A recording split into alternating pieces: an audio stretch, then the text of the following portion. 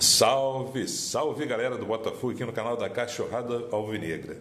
Estamos próximos de mais uma data FIFA e o Botafogo tem sete jogadores convocados para diversas seleções.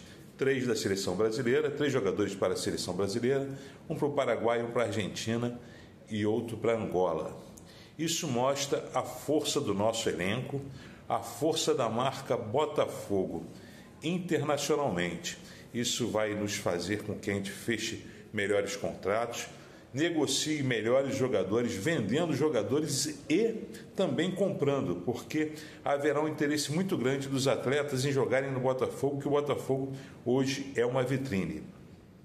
Falta muito pouco, gente, para nós conquistarmos dois títulos. Então, é nesse momento que nós, torcedores, temos que estar juntos, indo ao estádio, confiante, confiança lá em cima e combatendo esse pessoal que diz que o Botafogo não vai chegar a negar nenhum, que mais uma vez vai amarelar. Não é nada disso, é outra história, outro grupo, com outra vontade, com outra personalidade e houve um planejamento para que nós possamos conquistar esses dois nossos grandes sonhos. Então vamos juntos, vamos nessa. Hoje tem Botafogo e Atlético Paranaense.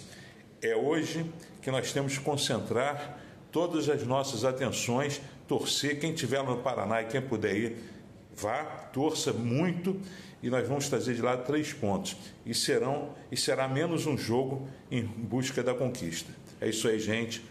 Bom jogo, Botafogo e Atlético Paranaense. Bom fim de semana. Estamos juntos, rumo aos dois títulos. É possível, o Botafogo está demonstrando isso. Um abraço.